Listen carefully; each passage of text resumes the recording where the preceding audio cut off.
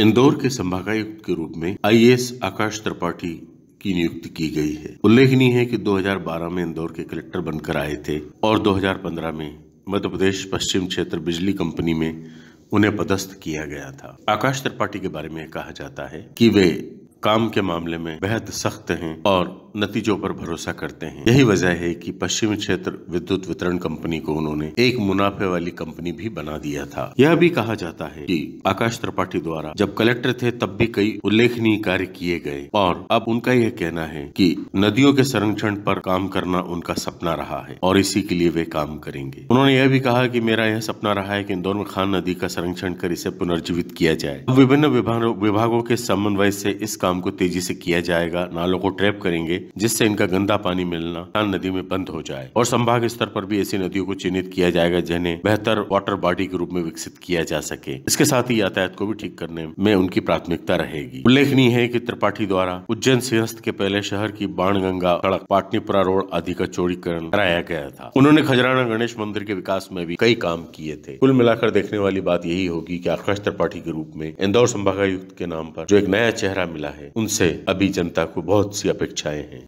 नमस्कार दोस्तों, अगर आपने अभी तक हमारे चैनल को सब्सक्राइब नहीं किया है तो अभी सब्सक्राइब करें और साइड में बेल आइकन को ज़रूर दबाएँ, जिससे घमासान से जुड़ी हर ताज़ा अपडेट्स आप तक सबसे पहले पहुँचें।